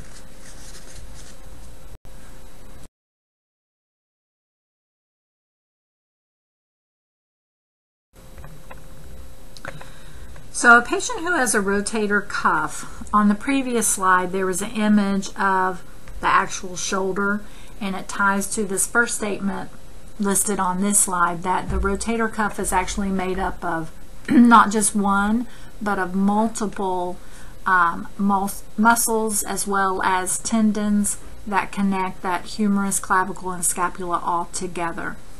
Um, so the other thing I did want to mention to you is that with the ACL or rotator cuff or any other ligaments um, and tendons, there can be a partial versus a full uh, tear. And partial tears are actually usually more painful than a full tear. But whether the tear is small and a partial, then healing may just be the option versus if it's a full tear, surgery is absolutely required to fix the injury because uh, connective tissue cannot um, build back and repair itself in that way and it has to be surgically repaired. So, um, again, the rotator cuff is made up of multiple uh, muscles and tendons to connect all those in the shoulder area. So, humerus, clavicles, scapula. Um, how it's determined that the patient has a rotator cuff is by doing the drop arm test, uh, very similar to that uh, Lachman's test. Um, they have trouble lifting or stretching the arm out towards the side, and they will actually, that arm will drift back down because they have trouble abducting um, the arm. So that's the drop arm test. Um, if they attempt to um, stretch their arm above their head, uh, they will have pain. Usually the pain on a rotator cuff is greater at night than during the morning and they're unable to lay on the affected side due to um, discomfort. Diagnosed again, they may start out with an x-ray that's going to look at um, structure. However, MRI is going to look at soft tissue injury. NSAIDs, exercise, steroid injections, and surgery. We'll discuss those in a little bit more depth, but that's usually the progression of uh, treatment for a rotator cuff. If they don't, if the patient does not respond to conservative treatment, then they will move to um, surgical repair.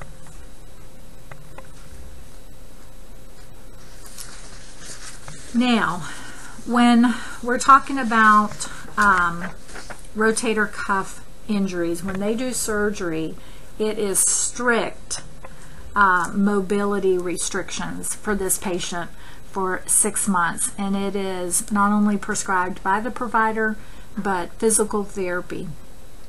So when that patient comes back from surgery and they have an abduction pillow with a splint and they usually have had a nerve block placed in the shoulder so they're not going to be that uncomfortable to begin with because that will eventually wear off and they'll have some greater discomfort later. So they have the nerve block, they have the ice, um, continuous ice flush to the area, and then they have a abduction pillow with this sling and swath on.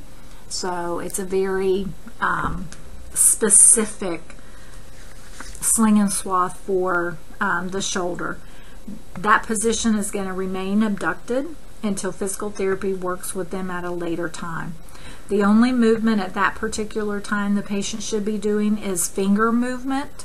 Um, and we're going to be doing our neuro checks on the patient. So asking for movement of the finger is fine. You do not want to do anything in addition to that with this patient.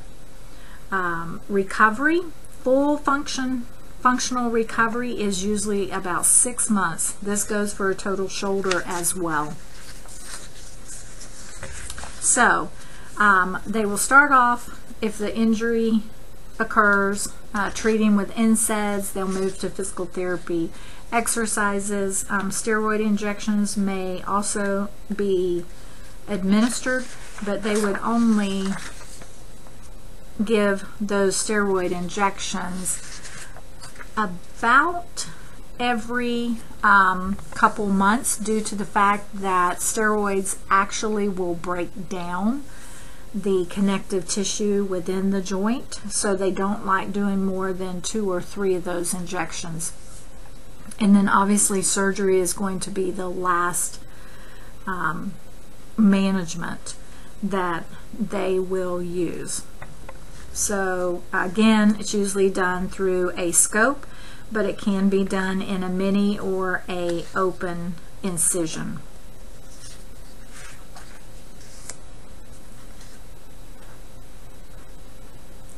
Nursing care is usually very short term because they too will be discharged home as a um, short stay patient. So education and follow up with their surgeon as far and as far as following PT uh, therapy is going to be very important. And then two, this is long term, six months rehab for full recovery. The nursing interventions that are going to be implemented prior to the patient having the amputation, we're going to want to manage that patient's pain and help decrease their anxiety level.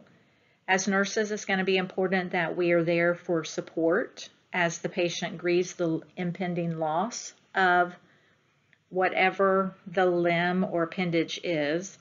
And we also have to take into account that that patient may be angry or become depressed related to that potential loss, or if it's a traumatic loss, once they have the surgery and um, the amputation has occurred. Uh, nursing wants to handle the limbs gently as well as elevate the swollen limb. We want to explain any preoperative orders as well as preps for surgery and also explain to the patient what they may see being performed as far as care goes postoperatively. Like when we come in um, from the nursing standpoint and do vitals, why are we doing those vitals? Why are we asking that patient to turn, cough, deep breathe? Or why are we positioning the patient in a certain way?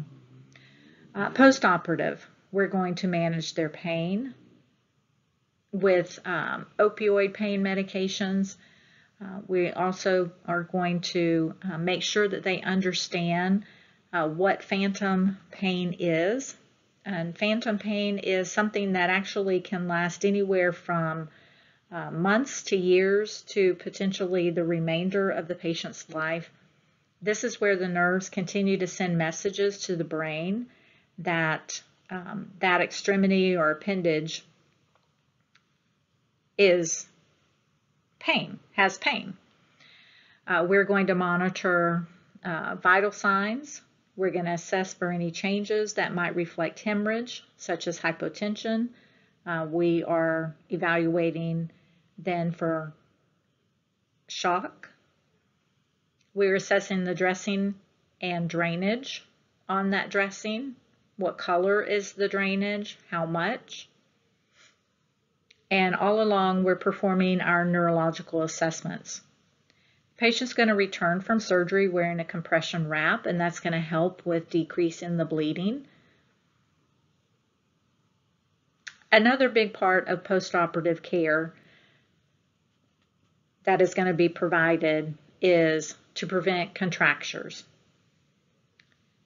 So with the elevation of the residual limb, if we elevate the residual limb continuously on pillows, we can actually cause those flexor muscles to um, contract. So what's going to be important post-surgery is usually about 24 to 48 hours. Instead of placing the residual limb on a pillow, we're just going to elevate the foot of the bed. The other thing that will be um, ordered for the patient postoperatively, and nursing is a part of this uh, rehab afterwards, is to uh, make sure that the patient is performing their exercises that physical therapy has um, set forth, and that the patient is being placed in the prone position at least twice a day, and that's going to help with stretching out that flexor muscle so that those contractures don't happen. So um, previously I said that the patient returns with that compression wrap um, postoperatively, and then that's going to be moved to either an elastic wrap, such as an ACE wrap, or you might see a compression sock being placed on the patient's uh, residual limb in order to shrink and mold that residual limb so that prosthetics can be fitted. Some patients do return postoperatively as early as immediately with a prosthetic device. Uh, usually there's some time period where those elastic wraps and socks uh, shrink and mold, and then within a few weeks, um, that patient is begin the fitting process for prosthetics.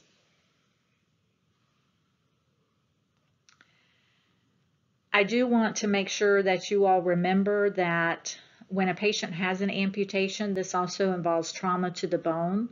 So please remember to watch for pulmonary embolism um, in your patients. So when you're assessing, you're always looking for shortness of breath, any changes of O2 uh, saturation, and uh, complaints of shortness of breath. And um, obviously, a little bit later signs would be that petechiae on the upper upper body torso on the chest.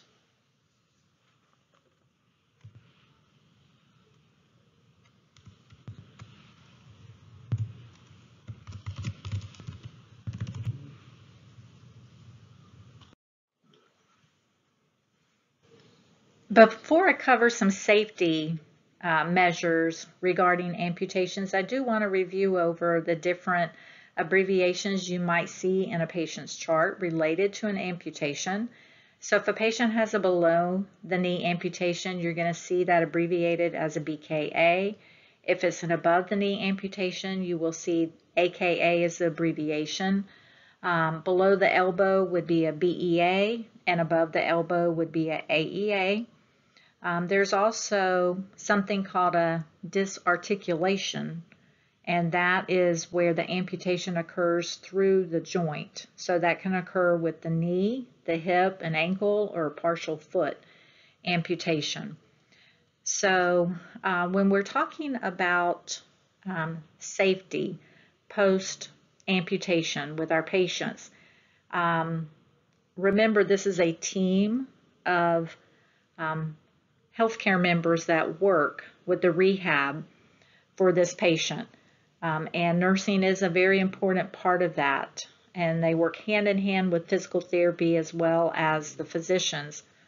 But um, nursing, we would want to um, monitor the patient's coordination, their mobility, their strength, and always remember that the higher the amputation, the greater energy that's required for ambulation and the higher the amputation, um, we also have to recognize that there's an increase in mortality and also a decreased rehab potential.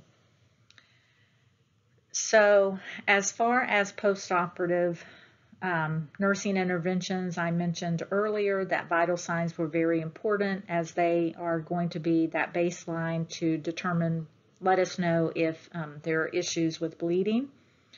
As far as residual um, limb care, we want to assess that dressing. It may need to be reinforced.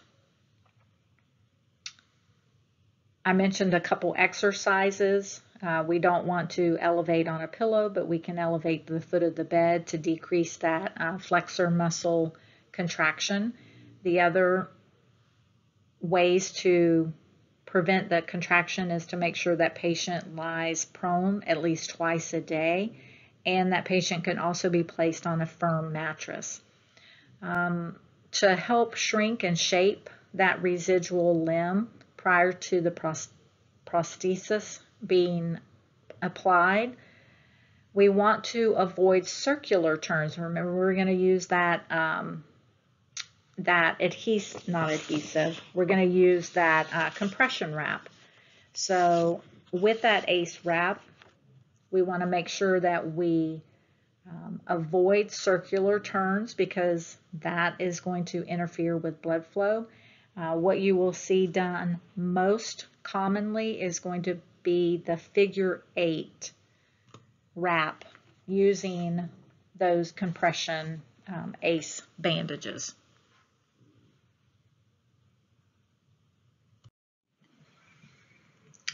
So rehabilitation depends upon the age of the patient, the type of amputation, the condition of the residual limb, the physical status of the patient, uh, the condition of the remaining limb, uh, their motor coordination, motivation, acceptance, and cooperation of the patient, And we also have to provide, as a rehab team, a realistic expectation and period that will be allotted for training during this rehab process. So the rehab team is not only made up of nurses, but physicians and physical therapists as well.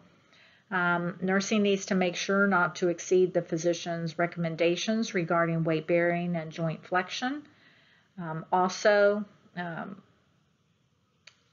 nurses and care team members need to make sure not to apply any kind of ointments or creams to the incision site unless it's approved by the provider.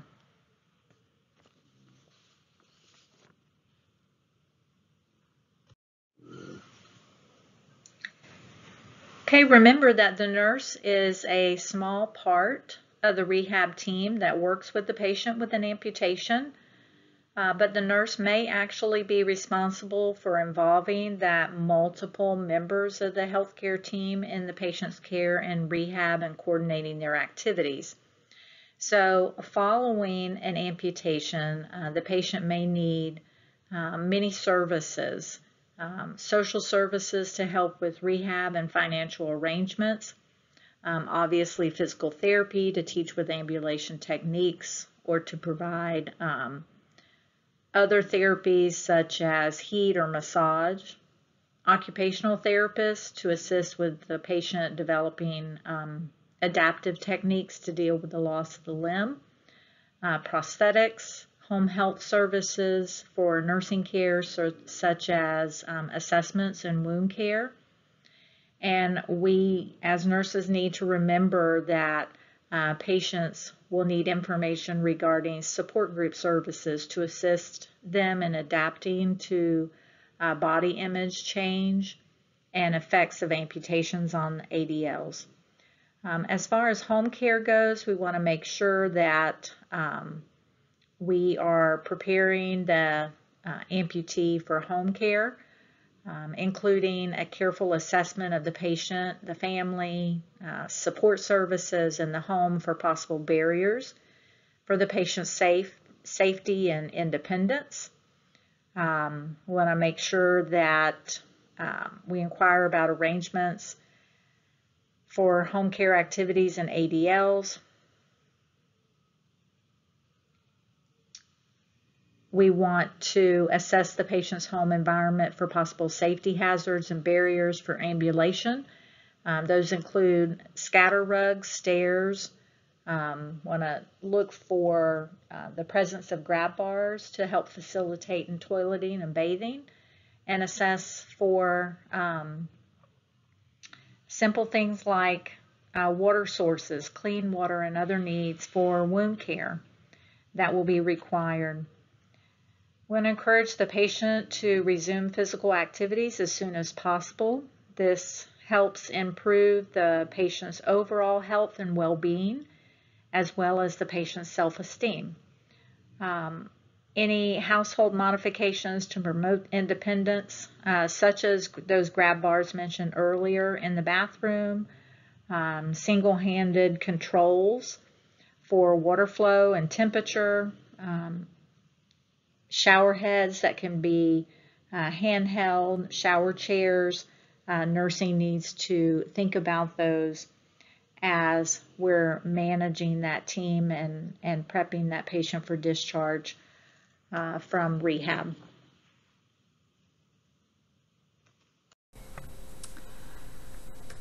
Okay, in regards to amputations, I do want to let you know that um, an amputation we used to call it a stump. Now it's called a residual limb. So I'm going to do my best to um, use that terminology.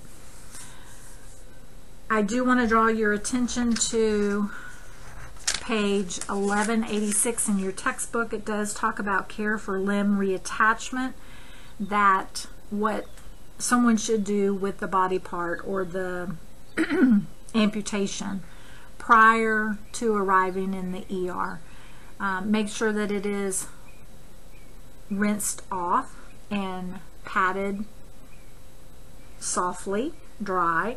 So isotonic solution, whether it be normal saline or lactated ringers, obviously if we don't have those available, it would be just water and then um, patted dry, loosely wrapped in gauze or a towel placed in a plastic bag and then the bag placed in an ice and water solution. Um, don't ever want to have direct contact with um, ice because it will cause tissue damage and therefore decrease the risk or decrease the success of reattachment. Remember that an amputation can be a planned surgery um, due to uh, peripheral vascular disease, or diabetes mellitus, or it can be a result of a traumatic injury. Either one, you have to expect that the patient will grieve the loss of whatever is being removed. So, um, grieve the loss of the, the limb. All right, so the first area that I have on the slide is what are some different reasons why someone may have a amputation. So it can be a long list, but just briefly, it could be related to a tumor, infection of the bone or tissue, so osteomyelitis. Trauma, obviously, is highest among young men. It's the second reason why someone may have an amputation. Peripheral vascular disease is the major reason, and this is why we really want to encourage these patients to monitor their blood pressure, keep their blood pressure controlled, decrease smoking, manage their diabetes and cholesterol because we're trying to prevent this PVD and in the long run uh, amputations. So that's 82% of the reasons why uh, someone may get an amputation. Thermal injuries, a deformity of the limb, and um, life-threatening problems like a thrombi or an infection. Um, I do want to add the list to the list of combat-related trauma. I've listed several nursing diagnoses that the nurse may be able to choose from while working with a patient with an amputation. During this recording, we will discuss acute pain. However, there's a plan for an activity that will focus on these other nursing diagnoses as well as the plan of care for a patient with an amputation. So for our first diagnosis listed here, acute pain, we must remember that the pain can come from the surgical procedure itself or be com compounded by muscle spasms, swelling, and phantom limb pain. Pharmacological measures are going to be very important for controlling the patient's acute pain. So to set a goal, we want it to be measurable. So our goal might be that the patient would report that the pain level is controlled to a level of 3 out of 10 within one hour of interventions. And then our interventions would then tie back to accomplishing that goal. So to begin, we would want to ask the patient at least every three to four hours to rate their pain on a scale of 0 to 10. And then we may administer uh, pain medications as prescribed. So let's say our patient has Dilaudid, 2 milligrams IV every three to four hours as needed for pain. So we would administer that and then we would reassess that patient's pain level within one hour to determine if they've met that goal. There are some other interventions that we could do in order to accomplish um, a reduction of pain.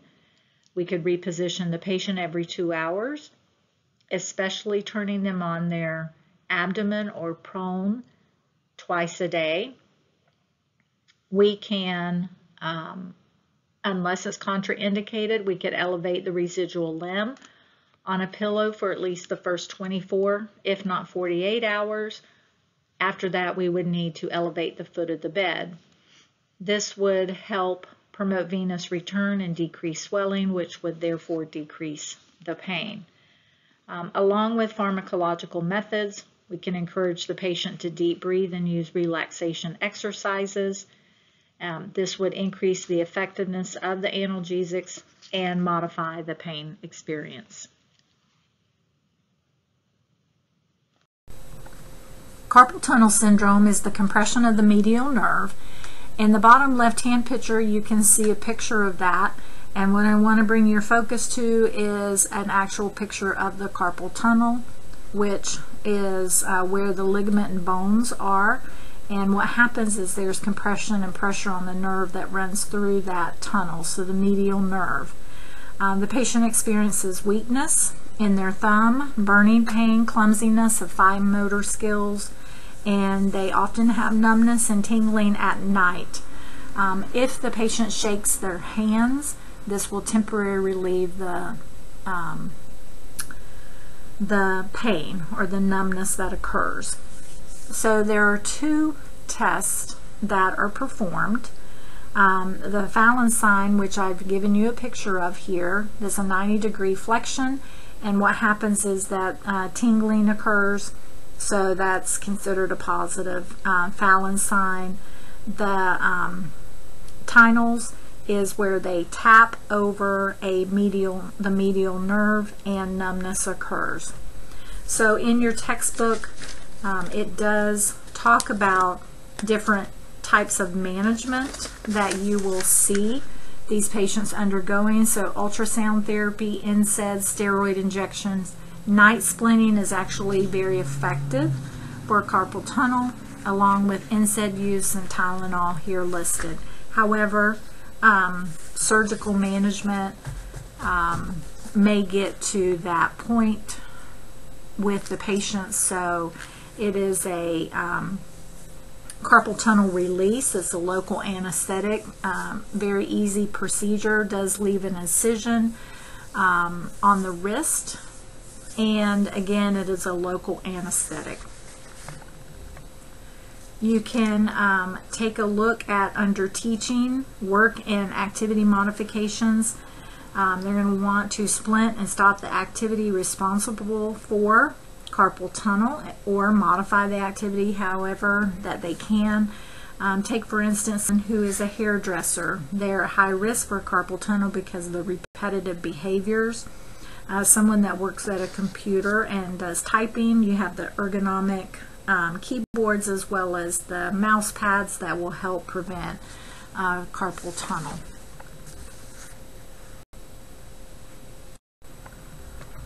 Okay, on the next two slides, I'm going to cover medications. I myself have gone to the drug book that you guys have and looked up this information, but you must do the same thing. That's the way you're going to learn the details of these medications. So, obviously, ibuprofen is something that most of us take. Um, it can be given PO or IV. It inhibits the prostaglandin synthesis. Obviously, we know it's a non-opioid analgesic, but we need to give it with caution with our geriatric and OB patients. We want to watch for GI side effects and bleeding tendencies. So again, um, at the end here, I'm saying taken with a full glass of water and remain upright to decrease GI upset. Um, it is best if taken with just water. However, if GI upset occurs, you can take it with food or milk to decrease that GI upset. Um, assess for GI bleed, monitor their pain levels, and watch their kidney and liver functions with this medication. Naproxen, that example of naproxen is um, Aleve. That's the one I think we're most familiar with. So, um, naproxen, sorry, Aleve, it inhibits the prostaglandin synthesis as well as Motrin. It's PO. Again, used cautiously in geriatric and OB patients, and we want to watch for GI side effects as well as bleeding and liver issues such as hepatitis. Anywhere from 250 to 500 milligrams twice a day instead of four times a day, so that makes it easier for patients. Assess for GI bleed, monitor their pain, and monitor kidney and liver functions and um, potassium levels. Take with a full glass of water um, to minimize GI upset. Again, same as with Motrin, can be taken with food or milk to decrease that irritation. Here is something different. Patients who have asthma are at risk for developing hypersensitivity, so um, being very mindful of that when giving naproxen or Aleve. Um, don't want to take antacid with the medication, and then it does have a photosensitivity response, so um, the patients would want to make sure that they are covered in sunlight with either um, long sleeve or, or don't go out in the sun for um, periods of time because they can have a, um, a severe sunburn. Okay, so um, next, diazepam or Valium. It can be given PO, IM, or IV. It decreases the CNS probability for potentiation, potentiating GABA, um, which is a neurotransmitter, and it causes musculoskeletal relaxation, and it also is an anticonvulsant. Um, has those anticonvulsant properties. It is rapidly absorbed in the GI tract, and I do want to bring your attention to the fact that we need to monitor blood pressure, pulse, respiration rate, and in giving IV, we need to assess the IV site. Um, this medication can lead to dependence, it causes drowsiness, so we want to monitor um, our patient for any changes in vital signs and assess for safety related to falls. Um, we want to monitor liver and renal functions as well as our H, our complete blood count. Administer IV slowly over one minute and you can see here I've listed if you give it too quickly it can actually um, cause some difficulty breathing as well as drop of blood pressure and a pulse. Um, so don't want to take your Valium with um, an alcohol intake. Uh, so no other CNS depressants while um, you're taking the Valium. Flexeril, it is um, works with the muscle activity at the level of the brain stem, so it reduces a muscle spasm. Uh, watch for dizziness, drowsiness, dry mouth, constipation. So safety is the issue, both on Valium and Flexeril. That would be drowsiness, don't drive heavy equipment. Um, Flexeril is available at 10 milligram tablet. Three times a day is a normal dose. However, it is available in 5 milligram tablet. Um, I took this medication one time for the largest um, muscle um, knot in my back that I had, and I took a five, 10 milligram. Best nap I ever took in my life. I now take five milligrams if I should ever have to have uh, Flexeril. Don't want to take it with any other CNS depressant. Avoid driving and other activities that require alertness. So they do not want uh, someone to take Flexeril on a long-term basis. So um, up to two weeks.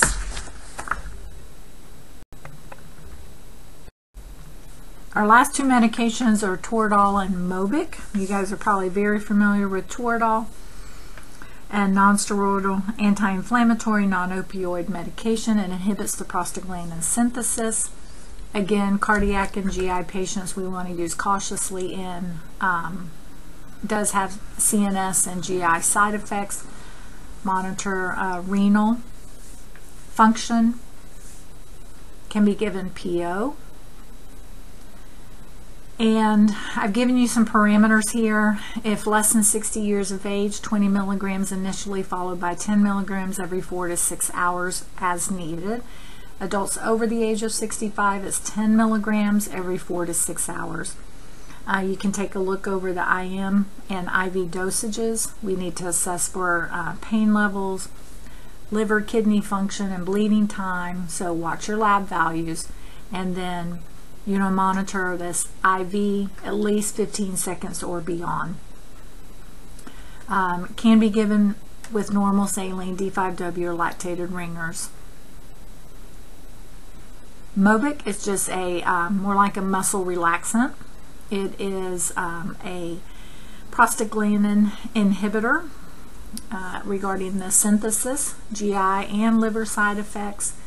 It's PO seven and a half milligrams daily, up to 15 milligrams, and hypersensitivity for those who have asthma. Monitor liver and kidney functions, take with a full glass of water, and remain upright for at least 15 to 30 minutes to decrease the GI effects. Pain medications, um, as far as morphine versus Demerol. Obviously, uh, morphine is going to be the drug of choice over Demerol, and we need to monitor our geriatric patients. You know, we have a little old lady who comes in with a fractured hip, and we're medicating her with opioid medications for relief of pain. However, we have to remember the half-life of the medication and how that will just compound in the patient. So before long, this patient is um, totally changed in their level of consciousness and they are um, completely um, confused and not themselves. You have to go back and look at their medications to see what they're on because it very well can be these pain medications that we're giving these patients while they have this musculoskeletal trauma issues. Hi, this is Miss Ornder. I'm going to be recording Chapter 54, Coordinating Care of Patients with Musculoskeletal Trauma. During my acute care uh, nursing career, I did work on an orthopedic unit. This is a part of nursing that I absolutely love. So I do try to share stories to help this information come across a little bit better for you.